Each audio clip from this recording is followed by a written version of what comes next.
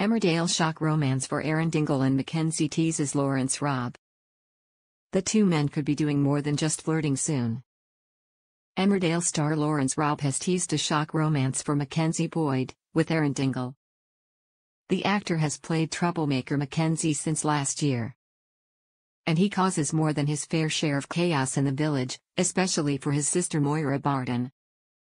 But viewers were intrigued some months ago to see him flirting with Aaron. Lawrence has teased the shock romance, credit, ITV. What's happening between Aaron and Mackenzie?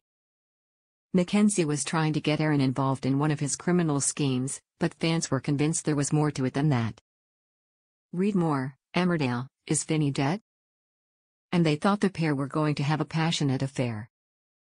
His relationship with Aaron builds more. I think a lot of people are rooting for Aaron and Mackenzie to be together. Now actor Lawrence is teasing the possibility and hints that something is coming up for the two men. His relationship with Aaron builds more. I think a lot of people are rooting for Aaron and Mackenzie to be together. I'm not going to divulge any more into that. He told Metro. They'll get up to no good. While Lawrence wouldn't say exactly what viewers can expect, he promised they would get up to no good. Aaron and Mac, to get up to serious elements of no good in the coming months which is really good fun, the actor added.